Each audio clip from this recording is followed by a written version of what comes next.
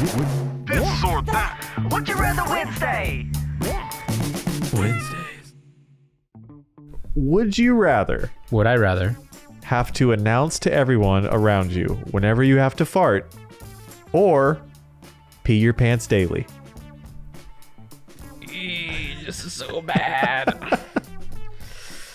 Oh, that's a tough one. Announce to everybody when I'd have to fart Yeah. or just pee my pants daily. Do people know about me peeing my pants? Well, I don't know if you've ever peed your pants before, but people generally find out. You can't Um, wear like no, a diaper or something. No, I know. I know. It's just like right down the front of it. Um, so, man, I'll tell you what. I would probably announce that I'm going to fart. and here's the reason why. Because if I own it, then it's mine. It's yours either way. But what I mean by that is, okay. See, the hard part about this the situation is that you, if you did do one, then you don't know that you had the other problem to begin with. Yeah, So, so in other words, I can't really say I own this.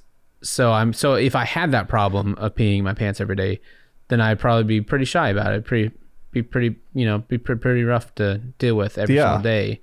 Um, so I'd have to like think about that, you know. But if but kind of like Billy Madison, where he's like, "You're not cool unless you pee your pants," you know. Then maybe that's maybe I could announce that too. But it doesn't sound like I get a choice of announcing that. So I'd have to live with that kind of Yeah. conscience consciousness of you know that that being said i don't really care a lot about what other people think of what i do and say and am so a lot of the times anymore like i used to um so it wouldn't really matter to me but announcing that i'm farting means i own it means that like it's onus on me it's like i'm i farted yeah, but yeah, and I now guess, I don't have to be shy about it unless I unless I like really made a mess. a mess. well, I mean, like right. with the air around me, not like in my pants. I'm saying like I farted and I've I've made a mess. I apologize. if you say it that way. Ah, hey guys, I got a fart, fart, and you're like, I gotta go. It was more than that. I'm sorry. I've really gotta go. This is gonna linger. Should have gone bad. a long time ago. but no, uh, I just say I don't know. That's just I don't know. Personality of mine also is like, oh man, yeah, I don't know. Yeah, see, that's the problem. Okay, you what would you do? Well, I think the great thing about peeing your pants is you have that Billy Madison scene as a reference. You know, you could always like talk about that and say, "Hey, this this this is this is cool." And it could be a funny thing and, and it'd be funny at first until people realize that every single day at 3:33 p.m. or whatever you're peeing your pants. But also I feel like people would feel sorry for you eventually. They're not going to feel sorry for you when you're like, "It was me again. I farted Okay, here's a 10 very, times a day." Here's a really 20, 30 times a day. philosophical question with this though, because they will know that. Do do do they feel sorry for you because that, or do they just not want to be around you because of it? Because here's here's my thought too. It's like, okay, now I'm I have you know I've peed my pants and everyone knows it. So why wouldn't they just ignore it like a bad habit? Like, oh, so and so always flicks their Yeah. hair. Somebody always does something crazy to, you know, like to get over a certain nerve of theirs. You know, so what what is that? Other than the fact that it's kind of a little bit, um, oh, what's that word?